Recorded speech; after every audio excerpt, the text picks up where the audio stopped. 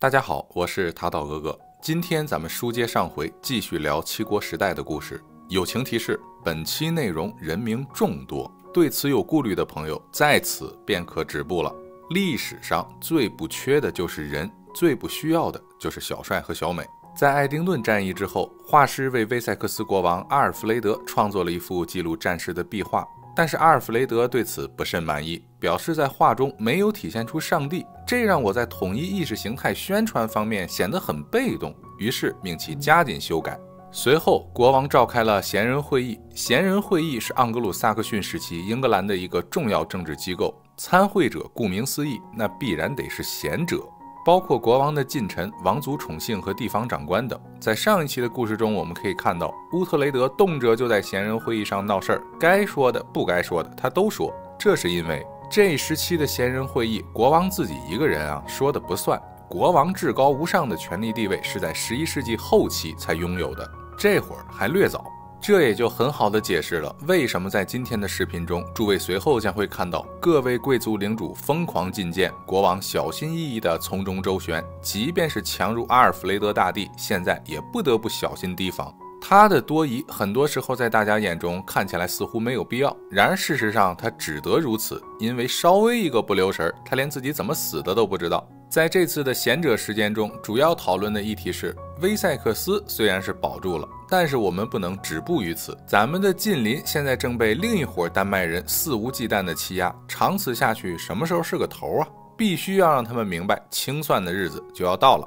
这个时候，本期历史故事的主线内容就浮现出来了。先来看地图。阿尔弗雷德此时准备对丹麦区动手了。目前被丹麦人控制的领地主要有东安格利亚王国，以及被一分为二的麦西亚王国和同样遭此境遇的诺森布里亚王国。东安格利亚王国好说，这里是格鲁姆的老巢，现在已经被阿尔弗雷德忽悠的信了上帝，所以目前没有闹出太大动静。于是阿尔弗雷德决定拿麦西亚开刀。现在在麦西亚生事的人，主要是一伙由齐格弗里德和埃里克兄弟俩所率领的丹麦人。这些人被称作 Northmen。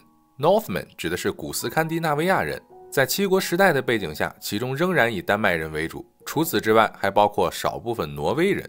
剧中对此在语言称谓上做区分，主要是为了体现这部分丹麦人和格鲁姆那伙听话的丹麦人不一样。放着上帝你不信，偏要信雷神，这阿尔弗雷德大帝能忍吗？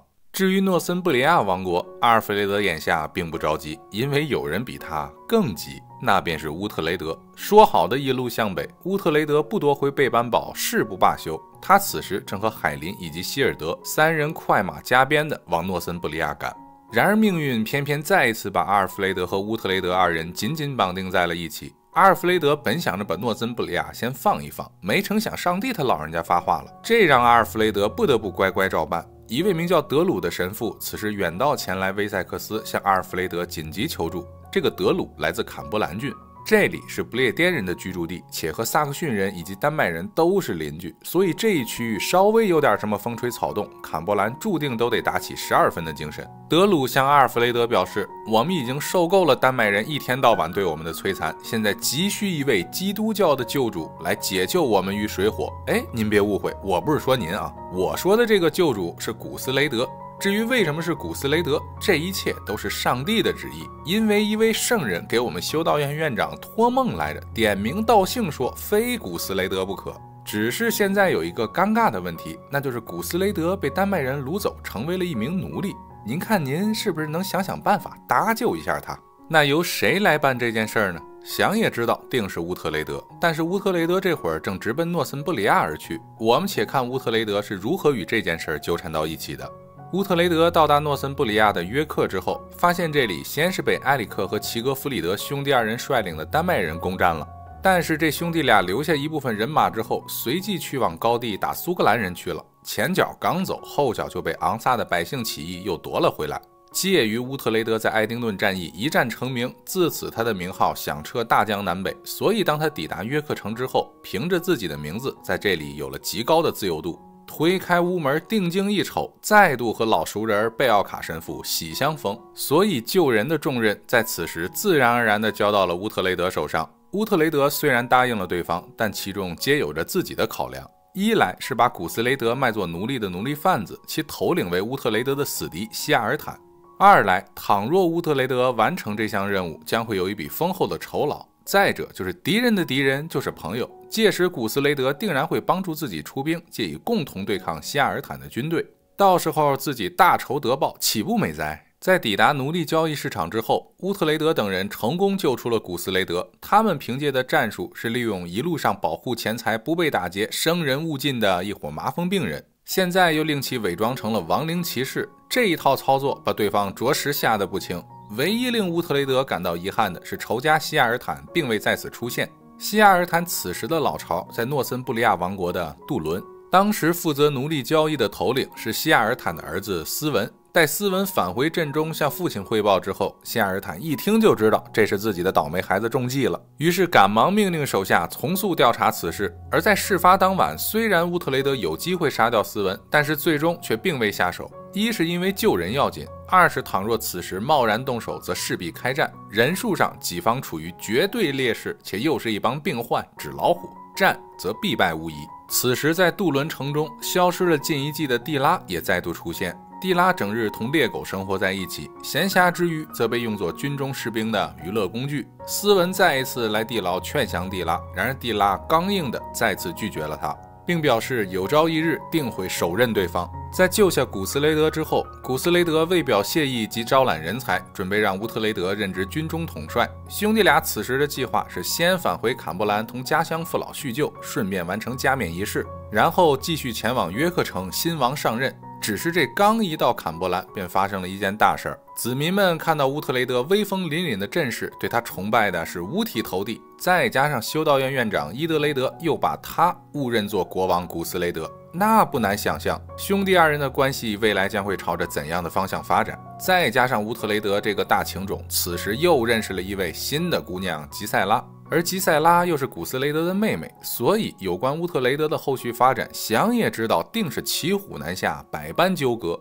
不久之后，西亚尔坦很快便得到了消息，知道了乌特雷德的下落，于是他派了一小队自己的人马前去坎伯兰，假意投靠新王古斯雷德，然后伺机做掉乌特雷德。结果，乌特雷德凭借过硬的格斗技巧以及同伴海林的帮助，对这伙丹麦人来了一手反杀，还顺便新收了一位名叫希特里克的小弟。这个希特里克早就听说过乌特雷德的故事，可谓是乌特雷德的小迷弟。因为在他心中，乌特雷德是曾先后击杀两任丹麦第一巴图鲁的圣战士。但是此举引得修道院院长伊德雷德大为不满，他认为乌特雷德给这伙丹麦人留了个活口，这其中定有自己的如意算盘。当古斯雷德集结了当地的领主和人马之后，乌特雷德便随军和众人前往约克。此时贝奥卡神父则动身，准备返回威塞克斯。临行前一再叮嘱乌特雷德万事小心。在去往约克城的路上，伊德雷德也对德鲁神父叮嘱道：“给我务必盯好乌特雷德的一举一动，尤其是他跟吉塞拉私会的时候，你必须确保届时你在现场。”这德鲁一听，心想：场外问题不大，但是场内怕是有些难度啊。而乌特雷德这时犯的大忌是。国王的妹妹，那不只是一个女人，更是一枚重要的政治棋子。这般重要的角色，那指定不是给乌特雷德这种连郡长都做不实的人准备的。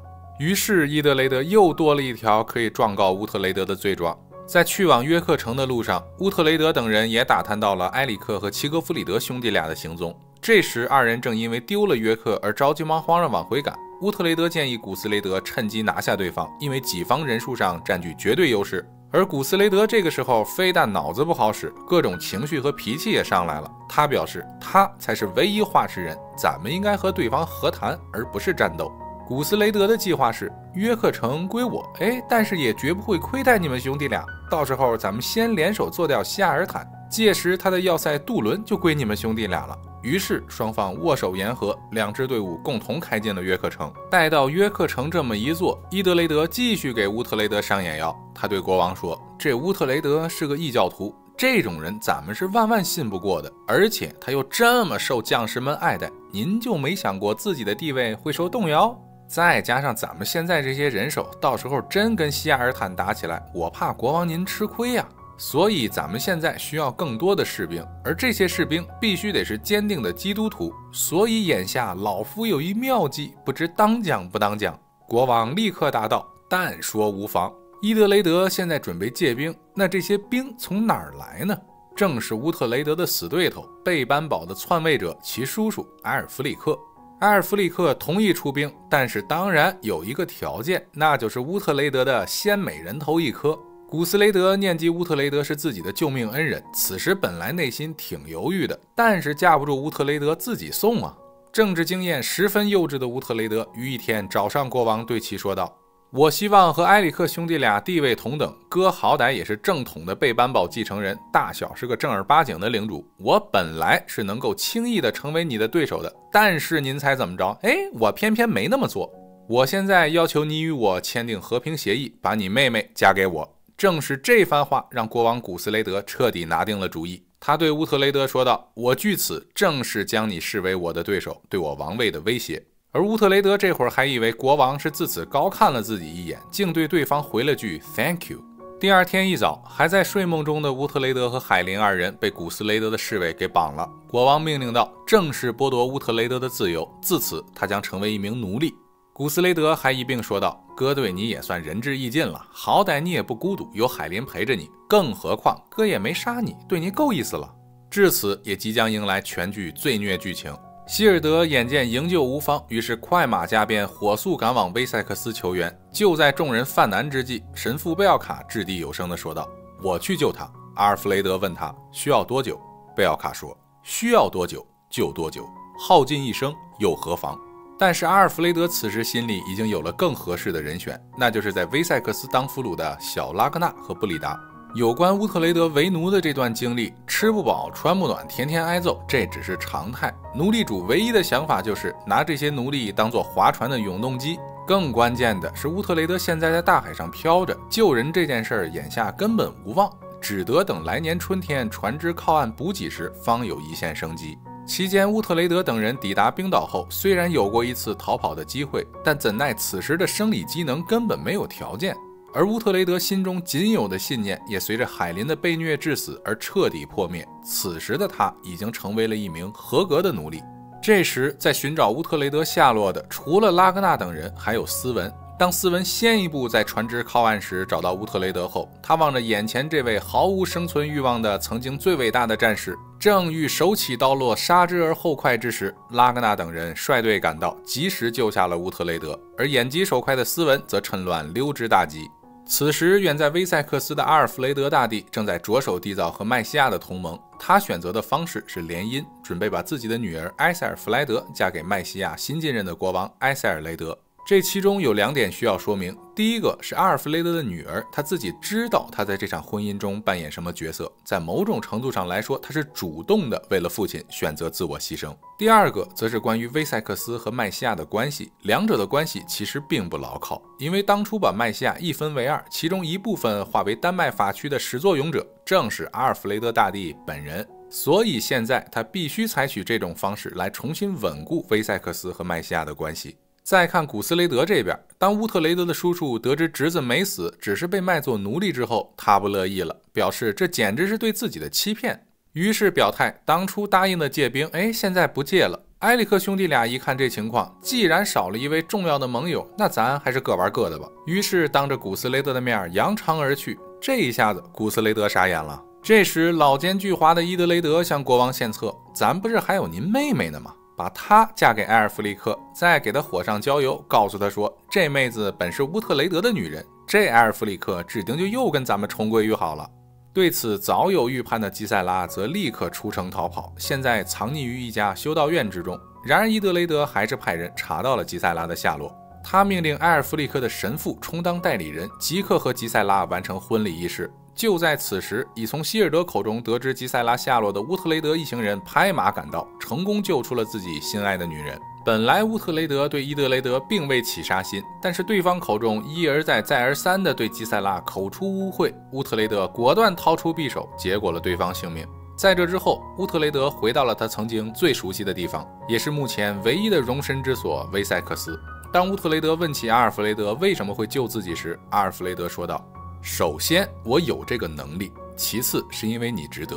阿尔弗雷德命乌特雷德再次宣誓为自己效力。乌特雷德表示自己是个自由人，不想效忠宣誓任何人。但是阿尔弗雷德则说，拉格纳奉我的命令去救你，而你却在他的眼皮子底下杀了伊德雷德，那岂不是拉格纳和我都有罪？你要是不给我干活，那我就只好处死拉格纳。于是乌特雷德只得答应了对方。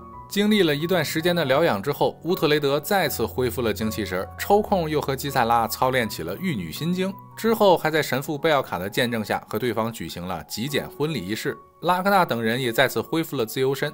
阿尔弗雷德下一步的动作是团结诺森布里亚王国，派乌特雷德率队前去约克城支援古斯雷德，用以联合对方共同对抗埃里克兄弟俩的丹麦人，且一再叮嘱乌特雷德：牢骚太盛防肠断，风物长宜放眼量。古斯雷德万万杀不得。阿尔弗雷德一并派遣侄子埃塞尔沃尔德随军，用以充当自己的眼线，顺便盯好乌特雷德的一举一动。阿尔弗雷德深知乌特雷德打心底里惦记着贝班堡。乌特雷德现在之所以肯奉命执行任务，无非是想着干掉埃里克兄弟后，以此向古斯雷德邀功借兵，之后便可一举端掉贝班堡和杜伦。届时保不齐再来一招拥兵自重。如果到时候乌特雷德胃口大开，甚至对整个诺森布利亚王国都有觊觎之心，那咱也不怕，因为阿尔弗雷德早已授意自己的禁卫军统领史迪亚帕，一旦发现乌特雷德有二心，便可立即处置。乌特雷德本该率队径直前往约克，但他们却首先来到了洛伊迪斯，也就是今天的利兹。因为拉格纳的旧部此时由布里达率领，双方约定在此地会合。拉格纳和乌特雷德的终极目标是干掉位于杜伦的希亚尔坦，只是在此之前，他们不得不先解决掉埃里克兄弟，以此方可联合古斯雷德的军队。不然，单从人数上来说，仅靠自己这点兵力是干不过希亚尔坦的。所有的一切均在阿尔弗雷德的预料之中。同样猜到这一战局的还有希亚尔坦本人。在前去解决埃里克兄弟时，乌特雷德阵中四大高手均在场，且个顶个的都是万人敌，那想不赢是很难的。更何况他们选择的方式还是偷袭。拉格纳、史迪亚帕和乌特雷德这三人我们都已知晓，其中这个飞男是乌特雷德曾经的奴友，同样身手不凡，现在可以视为代替海林的角色。乌特雷德砍下了齐格弗里德的一只手，并以他为人质，和埃里克约定好，令这伙丹麦人离开诺森布里亚，且永不再来，这样便可放齐格弗里德一条生路。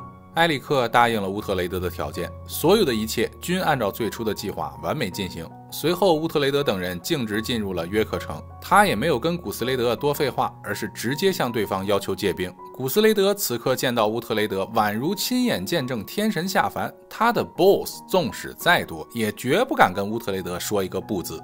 但是此时又有一件麻烦事儿，那就是倘若攻下杜伦，这座城应该归谁？乌特雷德认为应该给拉格纳，布里达表示俺也一样，而拉格纳则说自己只想杀死希亚尔坦，其他的他不在乎。但是这番话，埃塞尔沃尔德和史蒂亚帕可就听进去了，毕竟他们代表了阿尔弗雷德。埃塞尔沃尔德对乌特雷德说：“阿尔弗雷德的目的是想要拥立古斯雷德为诺森布里亚全境之王，普天之下莫非王土。你当这是小孩子过家家呢？”且一再提醒乌特雷德不要乱来。幸好此时古斯雷德想通了，他尝试着向乌特雷德表明了自己曾经对乌特雷德的恐惧，并表示自己将给阿尔弗雷德去信，告诉大帝：“你们去打杜伦，乃是奉了我的命令。我若不才，均可自取。”有了这席话做背书，乌特雷德等人那就大大方方的率队北伐了。这场战役便是发生于八百八十年的英格兰历史上的邓霍姆战役。最终的结果自然是以乌特雷德一方取胜而告终。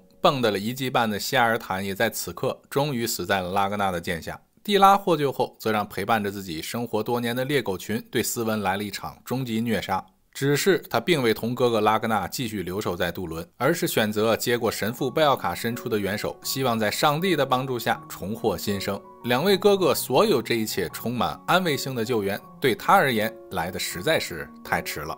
三年后，地点来到了达切特，这里位于麦西亚和威塞克斯的交界。这时不难看出，阿尔弗雷德准备对麦西亚正式开刀了。倒也不能说想霸占人家麦西亚的地盘，而是有一伙维京人前来滋事。这作为一方之长的阿尔弗雷德岂能坐视不理？更何况乌特雷德现在正式晋升为领主，其领地正是达切特的所在地伯克郡。所以诸位已然明白阿尔弗雷德把乌特雷德安排在此到底意欲何为了。此时的乌特雷德和吉塞拉二人婚后生活幸福甜蜜，且育有一儿一女。但是随着一天埃塞尔沃尔德的造访，打破了既有的平静。阿尔弗雷德的这个侄子向来不是省油的灯，他谎称有一天闲着没事儿瞎溜达。溜达到了麦西亚王国的丹麦法区，还听到了一位亡灵开口说话。这位亡灵表示，埃塞尔沃尔德将接替阿尔弗雷德成为威塞克斯的国王，而乌特雷德则会成为麦西亚的国王。前脚刚把埃塞尔沃尔德送走，三年未见的老伙计埃里克也找上了门来，也向乌特雷德表示，改天会邀请他一道前往麦西亚，一同见证死者的复活演讲。毕竟乌特雷德是天选之人，倘若你真在麦西亚称王，哥们儿定会助你一臂之力。而消停了许久的东安格利亚王国，这会儿也不安生了。这里的丹麦人现在越来越不满归顺阿尔弗雷德格鲁姆，所以各种造反和滋事。丹麦人希望他们能有一位更能代表丹麦人利益的首领，正比如已经休养生息多年、队伍日渐壮大的埃里克兄弟俩。埃里克兄弟二人此番卷土归来，非但团结了东安格利亚的丹麦人，还就手领着大家伙把伦敦给抢了。眼瞅东安格利亚局势不稳，阿尔弗雷德派遣了一位神父，名曰皮耶利格，前往东安格利亚，继续给大家伙讲讲上帝的故事。而乌特雷德此时决定和埃塞尔沃尔德一道前往麦西亚丹麦法区，准备亲眼看看死人是如何开口说话的。虽然确实有一位长者从地底下破土而出，钻了出来。指着乌特雷德的鼻子说了一番他将称王的壮举，但怎奈这一招乌特雷德自己也用过，装神弄鬼这一套是骗不了无神论者乌特雷德的。鉴于此情此景，乌特雷德准备给他来一手将计就计。就在各方势力紧锣密鼓谋划之际，一小一大两场婚礼也在如期举行。小的这场来自神父贝奥卡和蒂拉，大的这场是埃塞尔弗莱德和埃塞尔雷德。在大型婚礼现场，埃塞尔雷德意欲羞辱一番曾经羞辱过自己的乌特雷德。好在埃塞尔弗莱德替其解了围，但之后的洞房之夜上就苦了这位可怜的姑娘。埃塞尔雷德把怒火全部发泄在了媳妇儿的身上。此时，埃塞尔雷德有着自己的小算盘，他所希望的是局势越乱越好，只有丹麦人和昂萨人打起来，那么自己才有希望将阿尔弗雷德取而代之。而阿尔弗雷德当然不傻，他当然希望能尽一切可能稳定住现在的局势，至少和埃塞尔雷德面子上过得去。另一方面，又不得不提防乌特雷德。他现已知晓乌特雷德擅自私闯丹麦区，保不齐是准备联合丹麦人革自己的命。即使奥达百般劝诫他论迹不论心，但阿尔弗雷德仍然对此高度警惕。而埃里克兄弟俩装神弄鬼的计划，当然是为了把威塞克斯和麦西亚分而击之。乌特雷德在这两兄弟眼中，正是左右这场战争的关键所在。此时的伦敦城已由埃里克和齐格弗里德兄弟二人接管。此时的时间节点是八百八十四年。伦敦在这时是麦西亚王国的一座富饶的城市，所以知道伦敦陷落的阿尔弗雷德，为了巩固其和麦西亚王国的盟友关系，当即派遣乌特雷德随埃塞尔雷德一道前往伦敦。到达伦敦之后，乌特雷德见到了此前被阿尔弗雷德派来的神父皮耶利格。好巧不巧，现在这伙丹麦人正在给一伙神父排队钉钉子。乌特雷德知道皮耶利格军旅出身，所以他假意表示想给大家找点乐子。不如让神父和丹麦勇士来一场决斗吧。齐格弗里德欣然应允，甚至表示这神父要能赢，我还真就还你自由了。结果不成想，皮耶利哥早年手持圣经前拿的可是剑，随意舞了三两下，还真就赢了。这把在场的丹麦人全看懵了。救完人之后，接下来就该谈正事儿了。乌特雷德问对方打算要多少钱才肯撤出伦敦，齐格弗里德则给了他一个无论如何都不得不拒绝的价码。待回到威塞克斯向阿尔弗雷德禀报之后，那就没有别的办法了，只好开打。只是由于线下对乌特雷德的怀疑，阿尔弗雷德任命埃塞尔雷德为统帅，战斗方案也采纳埃塞尔雷德的部署，那结果可想而知，惨败。就在威塞克斯和麦西亚联军合攻伦敦之际，埃里克和齐格弗里德率队抄了对方营地，来了一场惨绝人寰的大屠杀，埃塞尔弗莱德亦被丹麦人掳走。埃塞尔雷德这一下子就慌了神了，少个媳妇儿他肯定是不担心的，但刚当上统帅就把国王的女儿弄丢了，这他无论如何也是难辞其咎。他的谋士为其献策道：“到时候你就跟阿尔弗雷德说，营地的具体位置怎么会暴露呢？这定然是乌特雷德泄的密啊！”而更为讽刺的是，乌特雷德此刻谎称回家作别了各位，实际上偷摸领着自己的人马前去打探公主的下落了。因为他有预感，埃里克兄弟俩现既已撤出伦敦，那定然是返回了东安格利亚的本弗利特。在又一次的闲人会议上，乌特雷德表示自己已收到可靠消息，证实了公主还活着，而对方打算凭着公主这张牌索要天价赎金。阿尔弗雷德听罢也沉不住气了，表示不管出多少钱都得救女儿。并且要求赎金由麦西亚和威塞克斯双方共同承担。那麦西亚的各位领主自然是不乐意了，双方的矛盾在此继续激化。眼下为了向丹麦人求和，现在威塞克斯派出乌特雷德，麦西亚则由国王埃塞尔雷德亲自出马，双方阵中各派一人前去谈判。在前去谈判的路上，埃塞尔雷德的谋士又出招了。他对国王说：“您可要想好，无论埃塞尔弗莱德是否获救，届时咱都免不了一战。”但是您要想好，到时候您希望面对的对手是谁？钱咱们可以出，但是价码绝对不能对咱们的发展壮大构成威胁。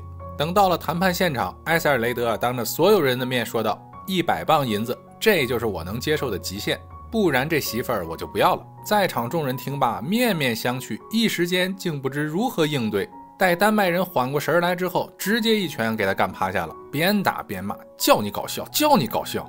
之后把他扒光，扔进了猪圈。这关键时刻还是得听乌特雷德的。随后，齐格弗里德和乌特雷德谈好了金额：三千磅银子，外加一千磅金子。但是紧接着，一个令人意想不到的变数发生了。乌特雷德从埃里克的眼神和言语中发现，这位仁兄竟然爱上了埃塞尔弗莱德。待随后亲自找上公主之后，公主告诉乌特雷德，他和埃里克二人是真爱，自己多日以来未受半点委屈。皆是由于埃里克明里暗里的多重保护，公主还一再请求乌特雷德别交赎金，而是想办法帮助他和埃里克私奔。只有这样，才是对威塞克斯和麦西亚两国以及自己的个人幸福最好的处理方式。这一下子，轮到乌特雷德懵了。待回到威塞克斯复命后，阿尔弗雷德发现国库所剩无几，于是决定向百姓征收财物，用以赎人。此举使得奥达极为不满，他不止一次的对此提出异议。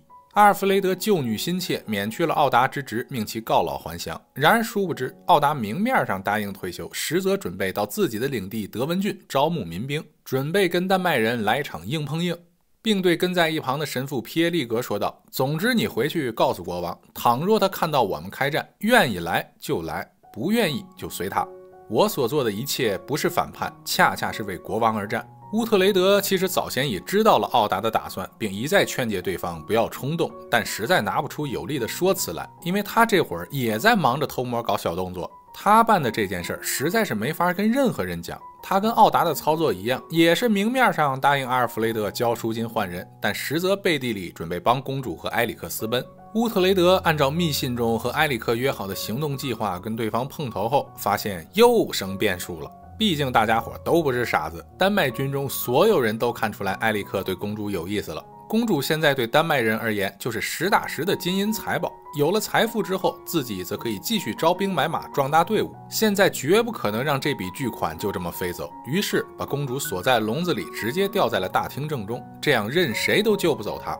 如此一来，没法智取了，只得硬来。而另一面，收到皮耶利格消息的阿尔弗雷德现在也星夜兼程，率军出发了。他的目的倒不是为了去刚丹麦人，而是想方设法赶上奥达，截停其队伍，生怕个中有什么差池，搞丢了女儿的性命。事情发展到这一步，我们发现最能解决问题的，已经不是什么招数计谋了。所有人在此刻唯一的解决办法就是干。